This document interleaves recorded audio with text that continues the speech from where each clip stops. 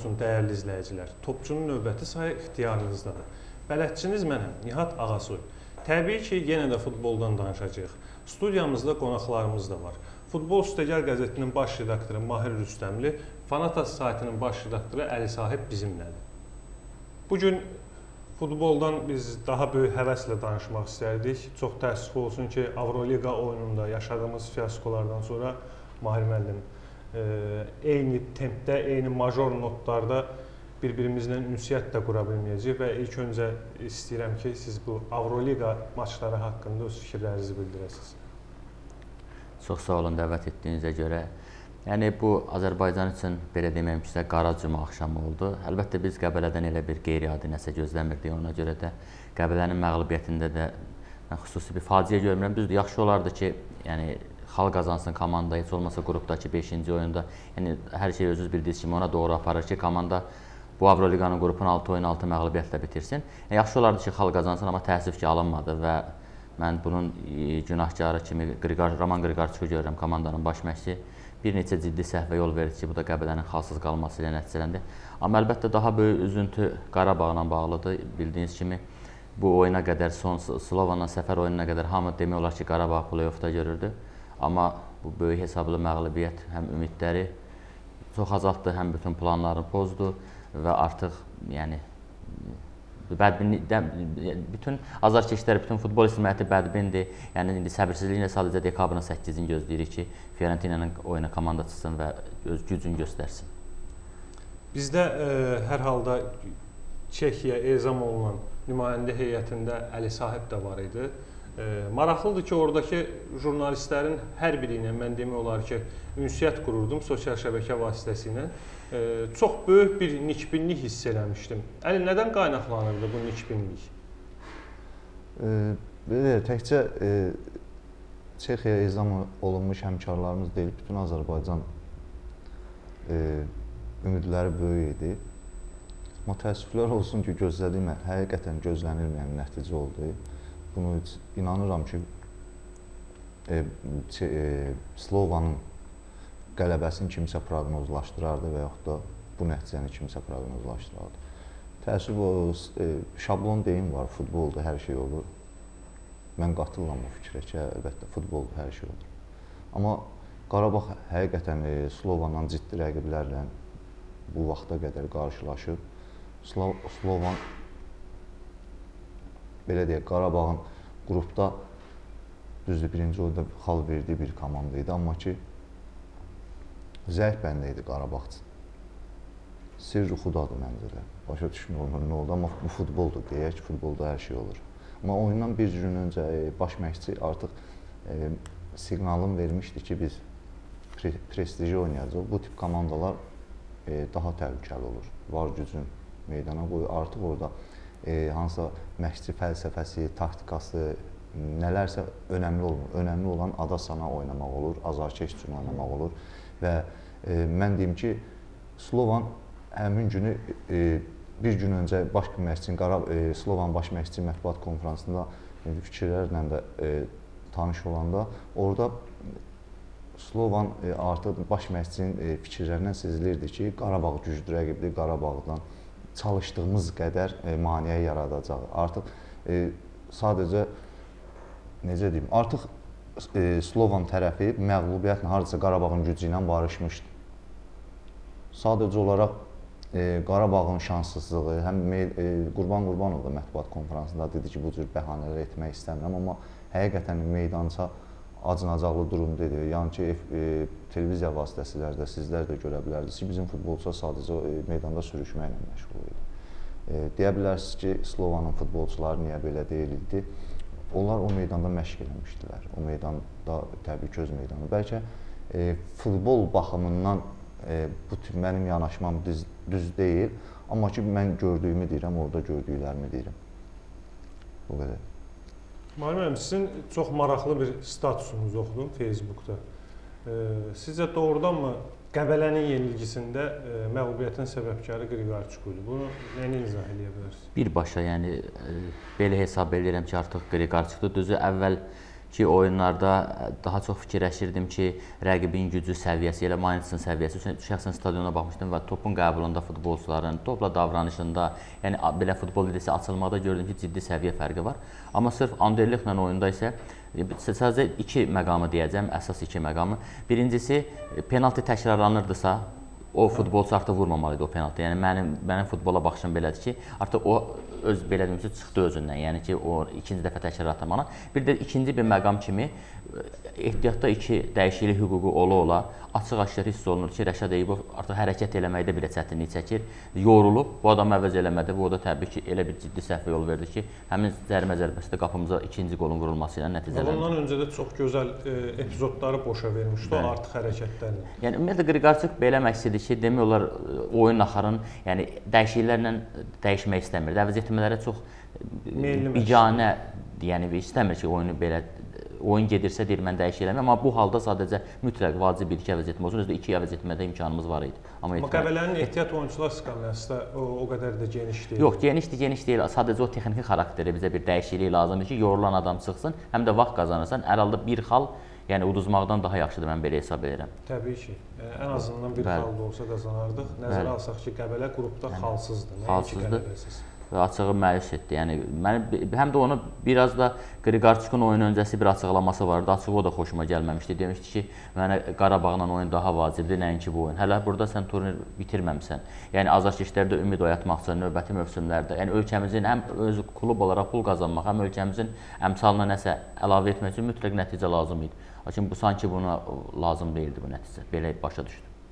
Əli, e, müdafiənin mərkəzində qayıdırıq Qarabağla oyuna. Maksim Medvedevlə Bədavi Hüseynovun yanaşı çıxış etməsi e, və Maksimin oynamağa öyrəşdiyi cinahda son vaxtlar ən çox tənqid olunan futbolçunun Arif Daşdəmirovun yer alması səncə məğlubiyyətdə nə qədər böyük rol oynadı? E, Nəzər alaq ki, üzr istəyirəm, ikinci topda Qarabağın qapısına vurulan ikinci top birbaşa Daşdəmirovun vicdanına yazılmalıdır. Belə deyə oyun boyu e, oyun boyu Qarabağın e, qapısı arxa e, qapısı ağzında Daşdəmirovun səhvindən çoxlu təhlükəli vəziyyətlər yarandı. Amma sırf ikinci qolda təbii ki, razılaşıram. Həmin günü Daşdəmirov demək olar çox tənqidlər haqlıdır. Daşdəmirovun ünvanına çünki Daşdəmirov çox bərbad oynadı, çox bərbad oynadı sadəcə e, rəqibin oyunu izləyərkən rəqibin də artıq o boşluğu tapmışdı. Həmin cinahdan boşluğu tapmışdı. Mütəmadi olaraq o cinahı belə deyək uçurmağa çalışdı və uçururdu da. Keçirdi və hansısa epizodlarda bəxt üzümüzə gülürdü, hansısa epizodda e, qapıçı yerində idi, hansısa epizodda da e, rəqib futbolçuları yararlana bilmirdi. Yəni ki, onlar yararlansaydı, yararlansaydı bu günləri 3-0-dan deyil, 5-0-dan, 6-0-dan geri dönmək olardı. Amma e, Qarabağın da epizodların e, unutmamaq olmaz. 2-3 e, qol vəziyyəti birinci hissədə 1-0-dan sonra yaranmışdı. Yararlana bilmədik sadəcə. E, Daşdəmirov vəziyyətləri daha çox idi. Yəni bəli. Yarım qol, müharibə vəziyyətdə yarım qol idi də, yəni 100% real. Daşdəmirov qədər indi komandadır, Qurban Qurbanov da qeyd etdi. Komandadır, komandada bir nəfəri çıxan, düzdür, bir nəfər bir nəfərin ucbatından ansambl qırıldı. Oyun e, gözlənilməz nəticələrə gəldi, çıxdı, amma komandanın elə hücumunda da, müdafiəsində də problemlər hiss olunurdu. Müəllim, siz necə düşünürsünüz? Yəni o müdafiə xətti Qarabağın Qurban Qurbanovun əlində olan heyətinin ən optimal variantıdırmı? Ya başqa variantı var idimi? Elvin Yunuszadə haqqında fikirlər Bilirsiniz, indi de demək olar Elvin Yunuszadə, amma Elvin Yunuszadə bəs Fiorentina oyun daxil fakt Elvin Yunuszadə dəfn elədi. Yəni onu da qəbul edir. Mən inanmıram ki, Qurban bəy o riskə gedərdi ki, Elvini start heyətində oynatsın. Sadəcə bu dördlüyün daxilində bəlkə mövqelərlə bağlı nəsə manevrlər eləmək olardı. Bu lazım bilmədi. Mən tək onu deməzdim. Tək bütün demək olar ki, əksər oyunçular imkanlarının aşağı səviyyədə çıxış elədi və bu Qarabağ Hətta deyim ki, Fiorentina 5-1 uduzanda belə komanda bundan yaxşı təsir bağışlamışdı. Bu əsas səbəbi onda görürəm ki, məncə rəqibin məşqçisi bizi daha yaxşı öyrənmişdi, nəinki biz rəqibi. Çexlər demək olar ki, Qarabağın bütün yol, hücum yollarını bağladılar və asanlıqla qələbə qazandılar. Bir də bir başqa məqamı mən demək istəyirəm, vurğulamaq istəyirəm. Onlar əvvəlki turda çempionatda 3-0 hesab ilə səhvini uduzmuşlar və ondan sonra bir geniş iclas geniş iclaslar olub söz veriblər ki, biz bu əvə məğlubiyyətin əvəzini hansısa şəkildə çıxmalıyıq və azarkeşlərimiz önündə bəraət qazanmalıyıq. Bildiyimə görə hətta 20 dəqiqə azarkeşlər durmadan futbolçuları qınaq obyekt eləyiblər, söyüblər və ilə axırı və s. Onlar üçün bu nüfuz oyunu idi və onu da sadəcə bəraət qazandılar. E, bir müdaxilə.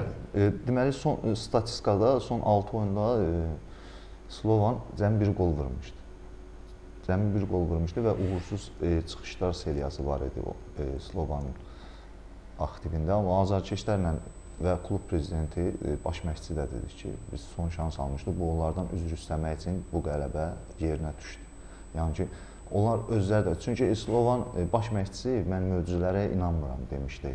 Oyundan oyundan qabaq demişdi. Təbii ki, həmkarlarımız da möcüzələrlə bağlı sual verdi ki, artıq möcüzələrə inanırsınızmı? Yəni ki, biraz da onların qələbəsinə e, həmkarımla orada qələbənin qələbənin kölgəyə alınması ilə razılaşmırdım, amma yerində olan sual idi.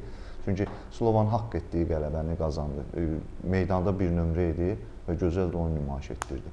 Qarabağın e, demək olar e, Mahir müəllim demişəm bütün silahların e, zərərsizləşdirilmişdi. Sonra e, müharrim Richard Almeida meydanda ümumiyyətlə görünmürdü.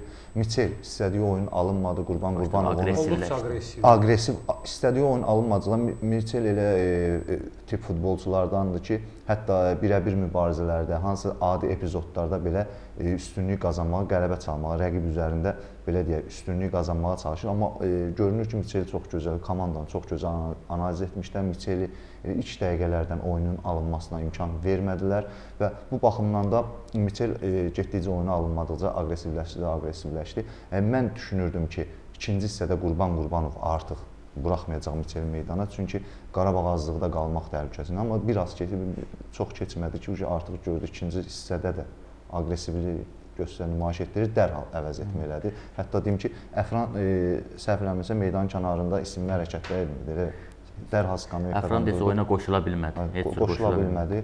Yəni ki, e, bütün fər fərdi olaraq bütün futbolçular Qarabağın bütün ehtimal olunan futbolçuların hər birinin gözəl gözəl və belə deyək, e, startda e, Michel oynamayıb belə, belə fikirləşək ki, bizə burada minimum bir xal lazım idi.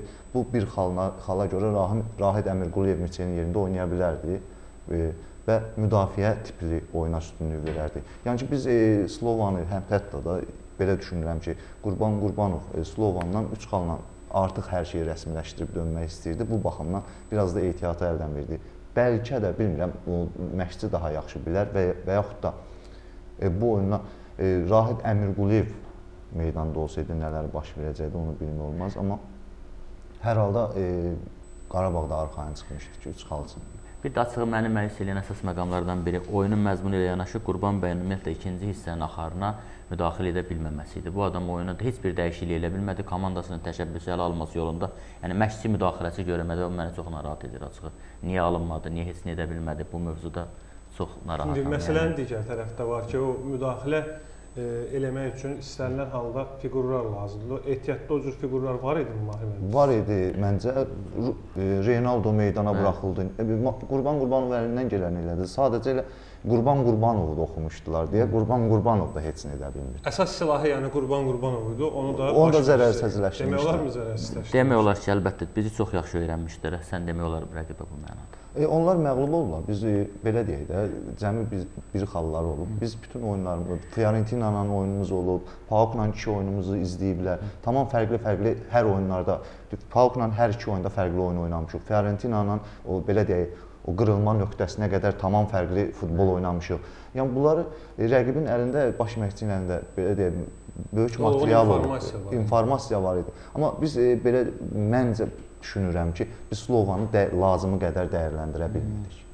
Bəlkə ola bilsin PAOK-la 2 qələbəli oyundan sonra da bir qədər arxayınlıq yarandı bizdə ki, biz artıq biraz yuxarıyıq. Yəni belə sonra bayaq dediniz o məqama toxundunuz. Doğrudan da oyun boyu futbolçular da sürüşməklə məşğul idi. Yəni bunlar daha rahat buçda belə sır çıxmırdı. Çexlər o qədər sürüşmürdü. Onlarda 1-2 oyunçu oldu.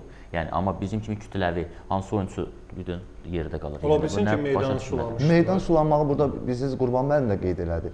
E, bu bəhanə deyir xoşlamıram belə şeylər gətirən. Hər halda meydana e, oyundan qabaqca girirsən, isim və hərəkətləri qaçırsan. Sən meydanın vəziyyətini görürsən, ona uyğun e, belə deyək də futbol şporlar Bəli. müəyyənləşməlidir, necə olmalıdır. E, sürüşmək o düzdür, futbolçuların bəlkə ona kim nəzarət eləyir, o şporların necə olmasına kim nəzarət eləyir, eləyir deyə bilmirəm. Hətta o nəzarət edən əgər futbolçu özüdürsə, orada sələmkarlıq eləmişdi. Çünki elə futbolçu var idi. Məsələn, Ronaldo məncə sürüşən görmədi, amma az oynadı. Ronaldo heç meydanda görsənmədi girəndən sonra. Amma ki qapıçının tez-tez sürüşməsi, nə bilim, Almeydanın özünün, kimlə Elə Daşdəmirovun dəfə sürüşdü. Yəni ki, bu hərə bu hardasa cüzi rol oynaya bilər ki, biz bir qol vura bilərdik bu sürüşmə sürüşmələrə görə qol vura bilmədik. Amma uduzmağımızın əsas səbəbi, səbəbi də meydan deyil. Artıq vəziyyət bəllidir, yəni ki, e, Qarabağın qrupdan çıxmaq şansı yenə də qalır, amma kifayət qədər az. Necə düşünürsüz Mahir müəllim? Qalır amma azdır. Əlbəttə ki, Elbayaq o məqama toxundu. Əvvəl çox 2000 idi, amma indi 12 binliyə əsas yoxdur. Çünki artıq bütün nəticələr Qarabağ çıxartmır növbəti mərhələyə. Yəni bir onu həqiqəti qəbul etmək lazımdır və onu da bilirik ki, Qarabağın Fiorentinanı məğlub etməsi də çox çətin olacaq. Yəni İtalyanlar real gücünü ortaya qoyacağı təqdirdə bizim böyük beşlik təmsilçini özünüz bilirsiniz ki, məğlub eləməyimiz çox çətin məsələdir. Bircə dəfə bunu Qəbələ bacarıb. Qəbələdən başqa hələlik kimsə böyük beşlik təmsilçisini uda bilməyib. Heç Qarabağ özü də bir neçə dəfə düşüb qalib gələ bilməyib. Ona görə çətindir demək. Mən elə hesab edirəm ki, heç-heçə edib o biri oyundakı nəticələrə baxmaqla, o biri oyundakı biz, nəticəyə baxmaq lazımdır. Biz İtaliyanın daha ünlü təmsilçisinin Interi, yəni Qarabağ Bakıda məğlub etməyə bacarmışdı. Sadəcə olaraq bəlli məsələdir ki, həmin vaxtda Zelinkanın. Düz deyil olub, amma orada burada bir prinsipial məqam vardı. Orada Inter təmin edib gəlmişdi. Burada isə Fiorentina hələ növbəti mərhələyə vəsiqəni 100% təmin etməyib. Məsələ fərq bundan ibarətdir. Sizin şəxsən bir e, ümidləriniz e, neçə faizdir Qarabağın qrupdan çıxmasına? Təxminən ən azı bir 30 40% hələ ümid edirəm ki, çıxa bilər. Birinci özümüz heç-heç etmək ən azı bacaraq, sonra başqa oyunda dua eləyək ki, gəlsin bizim istədiyimiz. Sən necə düşsən hələ?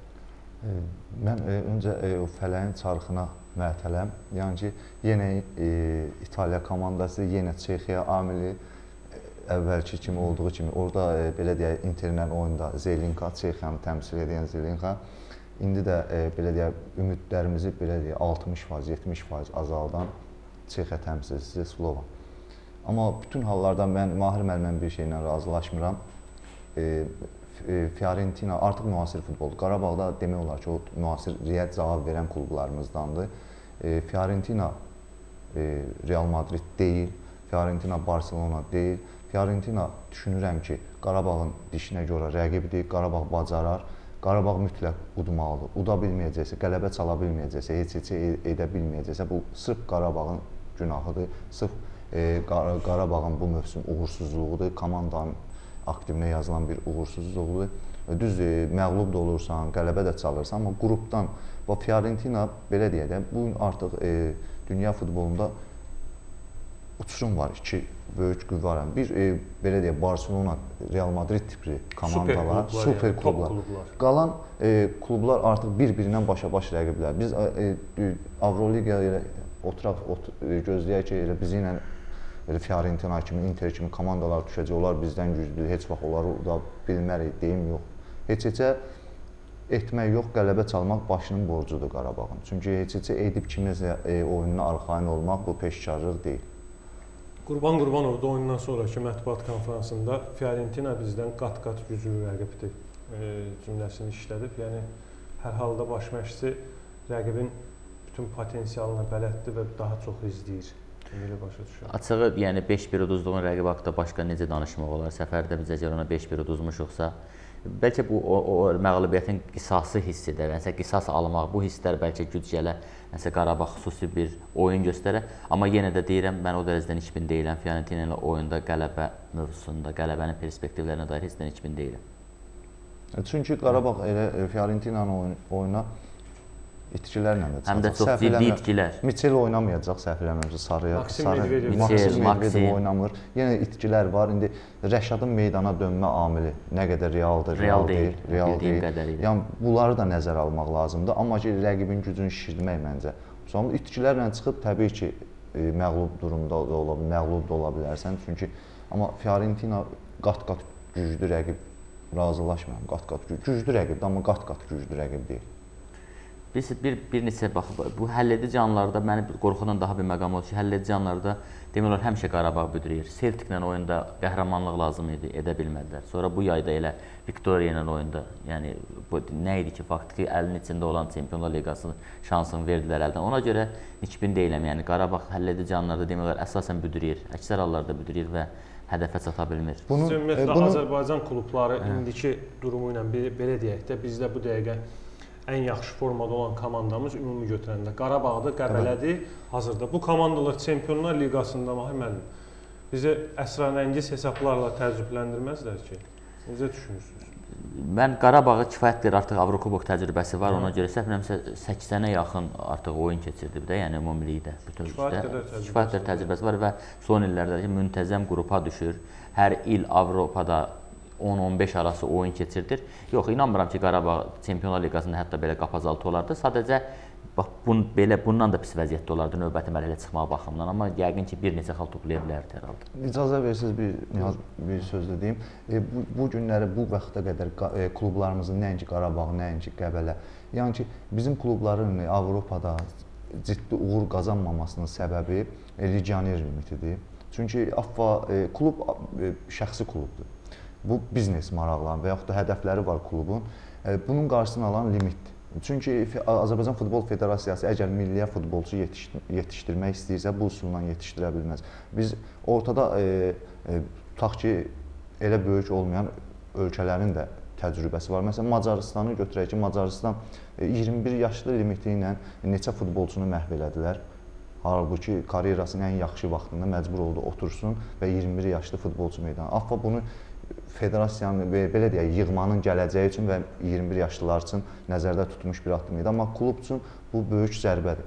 Çünki e, klub e, bu limitinə limitləri Azərbaycan kimi klublar yerli futbolçularla, bu səviyyəli futbolçularla gedib e, Avropada ciddi uğur qazana bilməyəcək. Biz əgər bu günləri e, qrupda gəlib qrupdan çıxmaq şansı yaradırıqsa, bunun özü belə böyük uğurdur bu vəziyyətlə. Çünki bax e, mi- misal gətirin Macarıstanda 21 yaşlı futbolçuları oynatmaq üçün heç bir kluba şərt və yaxud da limit qoyulmayıb. Sadəcə e, təklif edirlər ki, kim e, heyətində neçə 21 yaşlı oynadı, oyun futbolçu oynadırsa, ona görə federasiya həmin kluba pul ödəyir.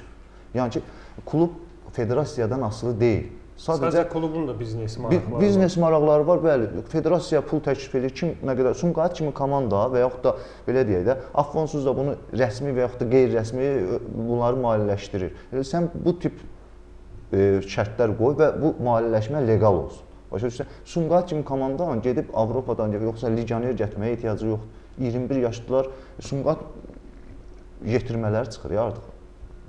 Əslində klub Sumqayıt kimi klub yarananda məqsəd də bu idi. Sonradan e, daşındı. Yəni ki, fikrim e, fikrimi ona gətirim ki, klublarımızın bu günləri e, Avropada ciddi uğur qazanmamasının birinci bir səbəbi də AFFA-dır. AFFA-nın düzgün siyasət aparmaması, klubların qarşısına şərt qoyması. AFFA klubların qarşısına baxır hansı şərtləri qoya bilər. Amma klubda sən belə bu yaşlı futbolçuyu oynatmalısan kimi, neçə e, futbolçu oynatmalısan, yerli futbolçu oynatmalısan limiti bizim e, klubların uğurunun qarşısını kəsir. Çünki e, bu gün görək də Daşdəmirovun yerinə bir belə deyək, normal legioner olsaydı nə olardı?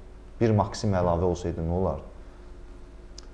Legioner kimi. Əlinin fikirlərinə qatılıram mən müəyyən mənada. Yəni AFFA-nın e, edə biləcəyi işlər klub futbolunun inkişafı yolunda daha çoxdur. Hansılardan ki istifadə eləmir və öz bildikləri strategiya sadiq sadiq qalırlar, amma bu strategiyanın da 95%-i fiaskodan. Bəli, futbol akademiyası açmışdılar, heç bir xəbəri olmadı, nə oldu, nəticəsini görmədik. AFFA bu işlərlə məşğul olmalıdır ki, futbolçu e, klublarda yerli futbolçu ilə oynamağı oynamağı üçün klublara hansı maraqlı təkliflər edər ki, onlar da onda maraqlansın. Qarabağ ay AFFA-nın puluna ehtiyacı yoxdur, amma Sumqayıtın var, tutaq ki, o digər klubların var. Onlar belə deyə uzlaşacaqlar bu təkliflərlə. müəyyən olaraq təklif verən qurumlarla da, yəni bir arada AFFA-da olmuşam, bəzi söhbətlərdə iştirak eləmişəm. Oradakı e, AFFA məmurlarının özlərinin dediyi sözlərdir ki, hətta həmin jestlə biz radikal içki işləmirik.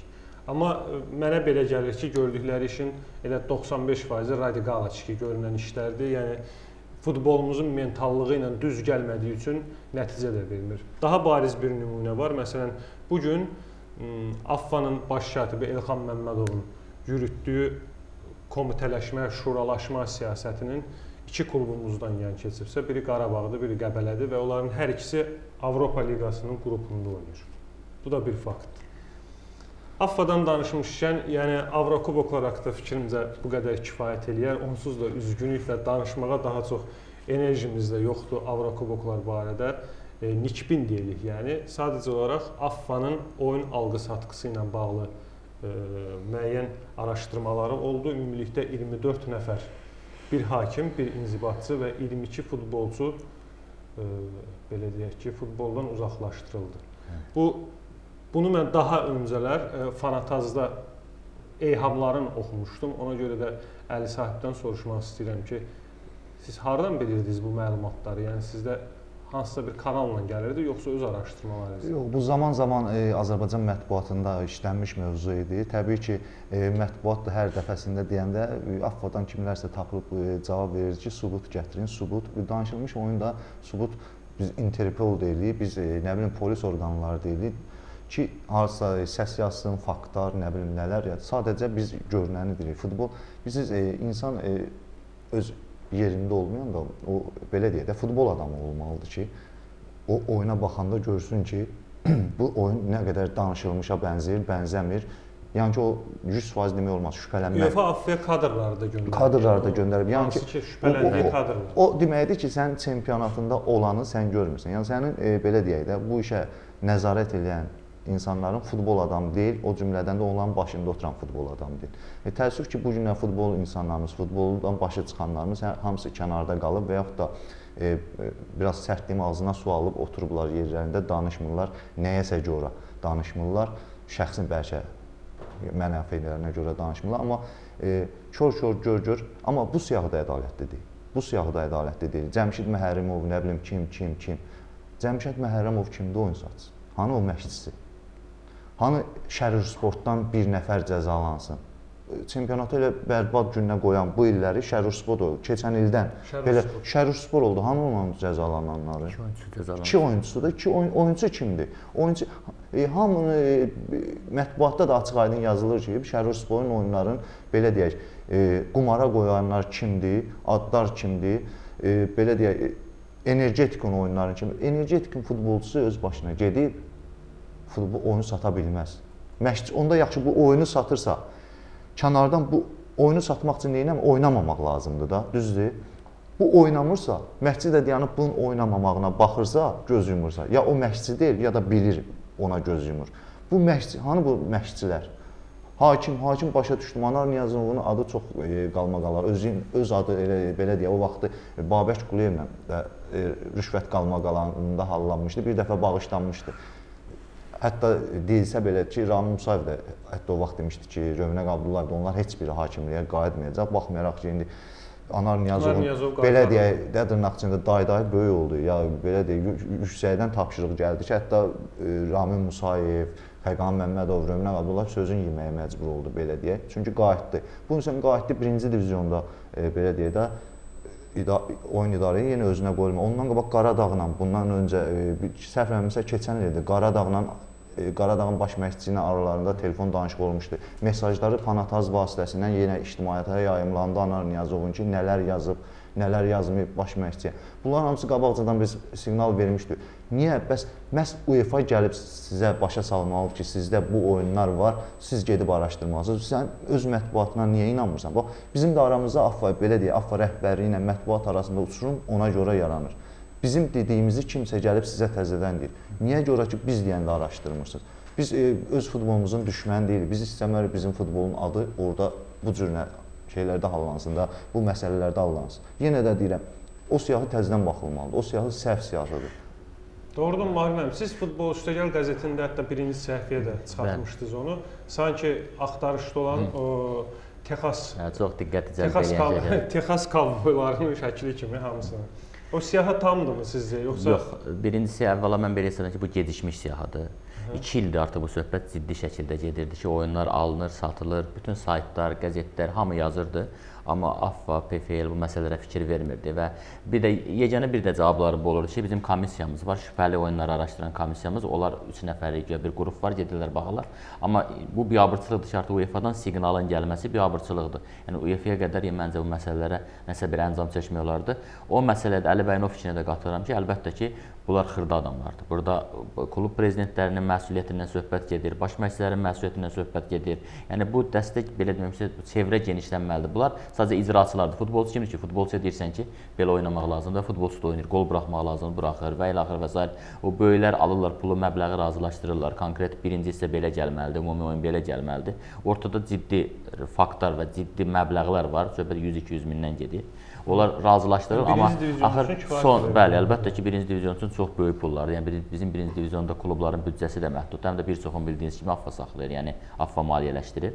Yəni bu belə baxanda əlbəttə ki, belə hesab edirəm, araşdırmanın çevrəsi genişlənməlidir və bir çox başqalarını da əhatə eləməlidir. Hətta mənim şübhələrim var ki, ola bilsin elitadakı hansı oyunlara da hansı şəkildə bu çirkab sıçrayıb. Və burada daha bir məqam var ki, qabardılası, e, təbii ki, həmin oyunlarla bağlı. Bunu da mən sizə bu informasiyanı verim. Deməli, bu yaxınlarda Bet kontorunun bir e, işçisi ilə görüşdük. Sadəcə olaraq danışılmış oyunlarla bağlı onu verilişə dəvət eləmək istirdim mən. Hələ ki danışıqlar gedir bu barədə. Yəni uğurlu alınsa onu da çağıracağam yaxınlarda. Mənə dedi ki, mövsümün hardasa e, ilk 3 turundan sonra mənə yuxarıdan tapşırıq gəldi ki, Şərirspor və Bakılının heç bir oyununu bet kontoru üçün hazırlama. Şərirspor və Bakılının. Bu isə o deməkdir ki, elə mövsümün əvvəlindən-cə e, bunların oyunlarını artıq qumarxanalar, yəni ki, bookmaker kontorları götürmürsə, deməli onların özləri də şübhələnib və qərara gəliblər ki, oyunları düzgün oynamırlar. İdman prinsiplərinə zidd hərəkətlər olunur. Və e, bir şey qeyd edeyim. E, Kontorlar əslində bu bu tipli oyunları əksinə, bu tipli komandalar, bu bu bu cür qumara meylli komandalarla e, əməkdaşlıq etməyi sevir. Təbii ki, onların sevmədiyi onlardan gizlin iki komandanın razılaşıb iş çevirməsidir kontora qarşı. Bu kontorların e, çoxlu sayda klubları var dünyanın bütün yerində. Şübhə etmirəm ki, Azərbaycanda da var, şübhə etmirəm. Bəlkə e, Premyer Liqanın özündə də var, onu bilmirəm. Amma bir şey qeyd edim ki, elə Futbol Plus qəzetində Şərur Sportun səhv eləmirəmsə prezidentinin e, müsahibəsi getmişdi. Çox gülünc, absurd faktlar gətirir ki, açın pasportumu baxın ki, görün mən Sinqapura getmişəmmi, getməmişəmmi, yoxsa bilirsiniz nətər insanlar klub prezidenti də elə bilir ki, hər kəs bundan e, savadsızdır və yaxud da bu futbolu çox gözəl bilir. Yəni ki, futbol bilgisi ümumiyyətlə olan adam o, o tip müsahibə verməz, o, o cürünə danışmaz. E, belə deyək, e, birinci divizionda bəlkə əv, lap əvvəllərdən də olub, amma Şərir Sport bunu açıq-aşkar etdi. Şərir Sport e, demirəm %100 bütün oyunlarını satıb və yaxud da əlimdə tutarlı fakt var, amma görməyə əsas verir də. Bu şübhə. Bax, e, bizdə Azərbaycan saytlarımızdan biri e, e, hansı sayt idi, unutdum, amma ki e, oyunların biri Bakının oyunun birinin hesabın qabaqcadan deyir ki, birinci taym uduzur, ikinci taym udacaq. Bu da e, belə deyək, bet kontorlarında hardasa 25 koeffisient edir, əmsalı 25-ə bərabərdir. Yəni ki, bu oyun öncədən deyilir Səhv eləmirəmsə futbol infoda. Futbol info Vüsal, Vüsal, Vüsal. Vüsal yazmışdı ki, bu oyun nəticəsini öncədən yazılıb. Affa deyir ki, Affa deyir ki, e, belə deyək də ehtimaldır, nəsə insan oyunun oyunun bu öncə görücüdür, ekstrasensdir. Bu oyunun ehtimalını deyir ki, bu oyun belə qutaracaq. Bunun variantı da 25 əmsalı 25-ə bərabərdir. Sən bu, bununla şübhələnmirsən, sən buna baxmırsan bu oyuna. Sənə sonradan UEFA deyir ki, sən get bu oyuna bax. Əgər bu belədirsə, bizdə belə bir deyim, deyim var idi. Hakimləri səhv çıxartmaq üçün hakim e, cərimə meydançasında hansısa penalti verir. E, belə deyir ki, futbolçu qəsdən yıxdı onu, nağarıca penalti verdi. Qısa deyim də fikrimi aydına. E, deyirlər ki, bəs penalti verilmişdisə, həmin futbolçuda müdafiəçidə sarısı var bir dənə. Ona niyə sarı göstərmədi? Qırmızı demirik, sarı niyə göstərmədi? Tipi var da hakimi bütün hallarda səhv çıxartmağa çalışır.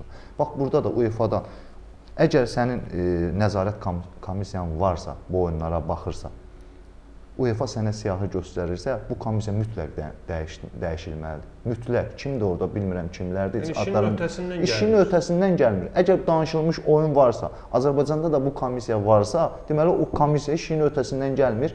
E, kənardan siyahı gəlir kənardan. Onlar da mən sizə deyim, e, onlar da medianı monitorinq edirlər, oyunlara baxırlar. E, Gedən media bizim öz mətbuatdan belə deyək, informasiyalar gedir ora. Gedir və komissiyanın yerində olmaması gətirib bu yerə komissiya təzədən e, dağılmalıdır.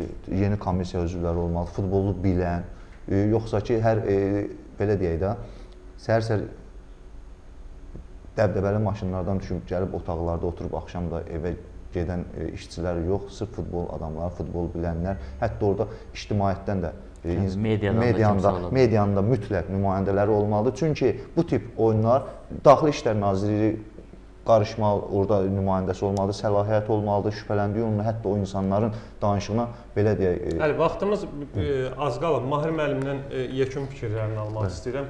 Bu danışılmış oyunlarda adı hallanan klubların sizcə cəzası nə olmalıdır?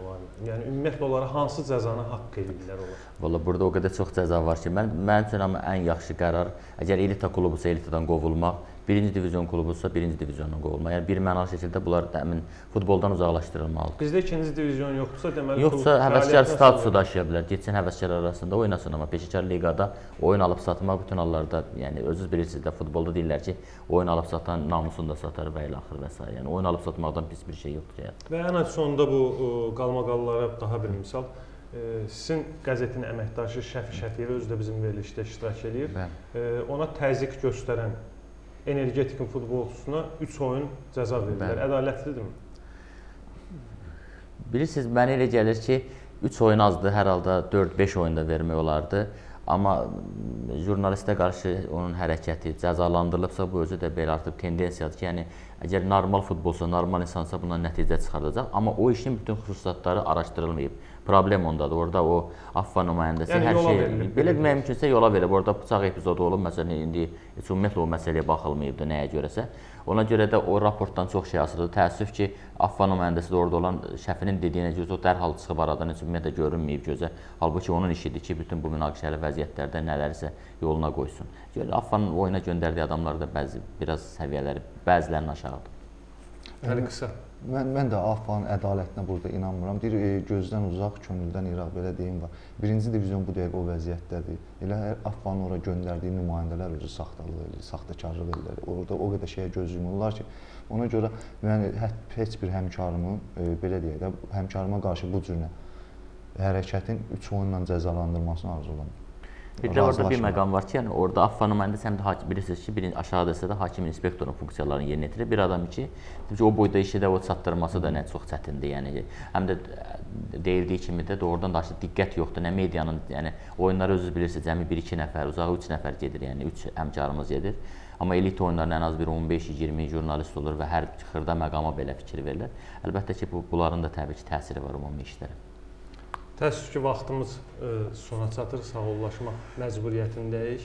Ümid edirəm ki, növbəti görüşlərdə yenə bir araya gəlib bu səpkidə söhbətlərimizi davam elətdirəcəyik. Sağ olun. Sağ olun dəyərli izləyicilər, sağlıqla qalın.